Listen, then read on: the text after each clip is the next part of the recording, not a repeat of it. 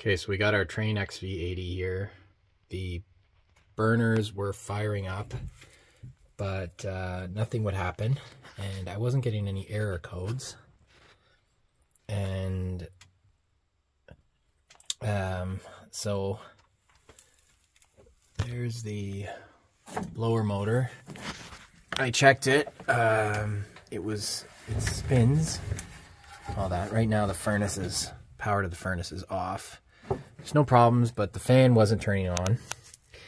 Um, so after doing some searching online, I, I checked to see if power was going to the um, to the to the circuits on the back of the fan here, essentially where everything's plugged in. So I'm going to unplug it. Just a couple of clips. It's plugged in. Just unclipping it. I unclipped the big one, small one, on the top and bottom, the clips. So sticking a multimeter in here into the white and black, I believe it was, I got, um, when I turned on the power to the furnace, I saw that I had 120 through a multimeter to there. Anyway, there it is back there. And those two screws on the back are what's holding it on there, but also in here, it's difficult to get to, is that, which has to be loosened for that to come off. Once you loosen that, take those two screws out, which is difficult, and this is all very itchy stuff, so you may want to use some gloves. Um, I've looked at taking off the side cover, but if I feel it wraps right around the back and feels like I'm taking apart the entire structure of the furnace, and it is possible to do without. So you can remove that back plate. After taking those screws out, like I said, the bolts out in the back, um, those two bolts that you are visible on the back, and loosening this in here. And I can't remember what those sizes are yet, but I'll put it on here. So hang on. Okay, so now I've got those two bolts out in the back, almost all the way out. They're completely loose. And I did it with a quarter inch um, quarter inch ratchet and then I could just get it in there and then I did the rest by thumb and finger um, and yeah so that's pretty easy now to get this one which is much more difficult. And also you do not want to drop your tool so that it ends up down inside the fan. So be very, very, very careful. I will use a closed end so it loops right around the top of the bolt. Um, um, wrench or spanner. Okay, so it's a 7 16 wrench. And you can see, uh, I got in there. It gives you just enough room to do some slight turns. I did it till it felt a bit loose, and now it feels like my cover will now come off this wrench off and remove this.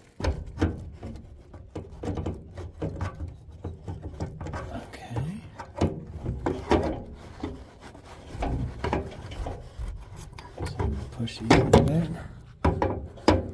Um, oh yes, and there is another connection in there. You see the blue and red wire. Now, I'm not sure if I can get a good camera angle on it. Sorry for the concentrate oh yeah, there's a connector in there. And so you can see it in the and I'm to unclip that and pop it. Okay. Okay, so mostly by feel, I got my hand in there, felt the clip, and got it to come undone. Okay, so here's what we're looking at. Okay, now I've already did a temp fix on this, but I have other pictures or video that show. So there is a um, an electrical component that goes here, a thermistor, which I believe is a resistor. Um, and so what we need to do is I'll pull this, this comes out, this circuit board comes out with a couple of screws, two screws and a little clip, which um, you can pop this whole thing out. And then uh, what I've done is the old thermistor disintegrated into my hands and uh, the fix I'd read was to just if you tie these two together, the two legs of the thermistor, you can bypass it and basically it was acting as a surge protector. So I've, as a temp fix, while I was waiting for my new thermistor to arrive, I've bypassed the surge protection. And now what I'm going to do is remove that and put in a new thermistor by soldering it in to the board. Okay, so here I'm just at, just going to take the board out with a couple of Phillips head screws. There's one, the other one's over here.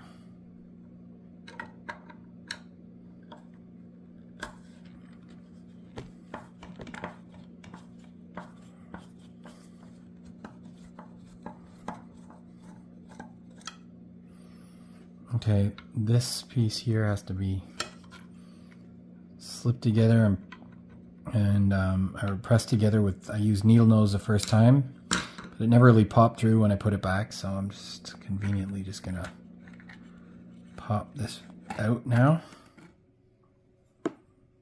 Take my screws off here.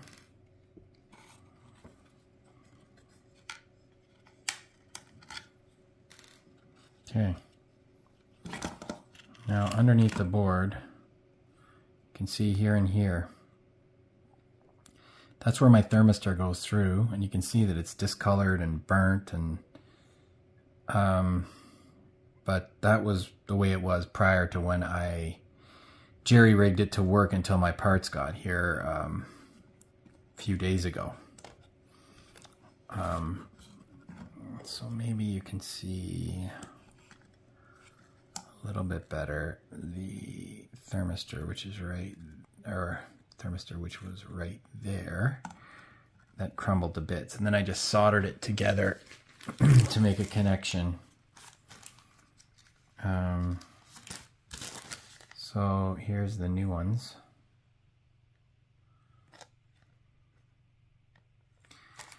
Um,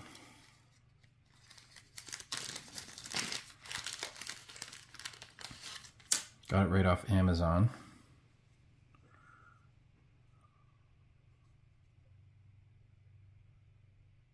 Um, SL32 1R030 um, is what I looked for. So this is going to be soldered in through my board and this is was sitting in here was what disintegrated in my fingers and was cracked all to bits when I pulled it out and the thermist fan was not working. So now I'm going to unsolder this and put in the new one.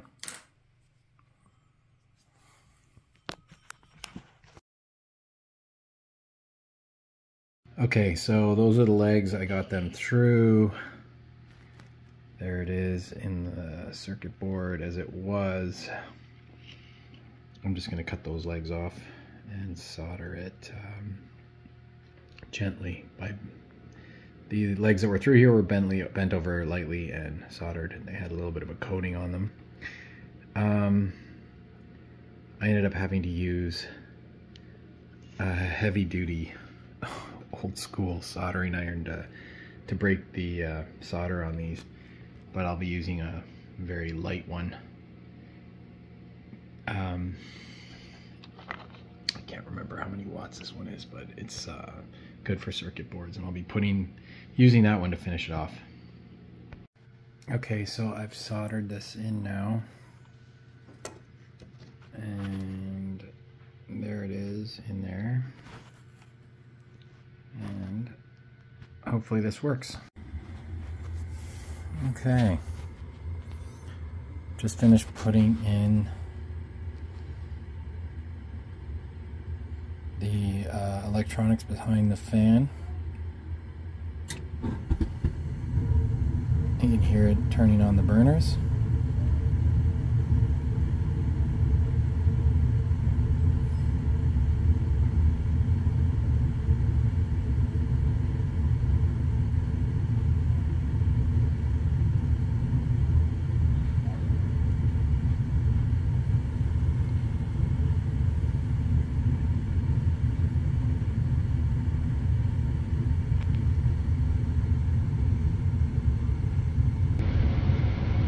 there she goes.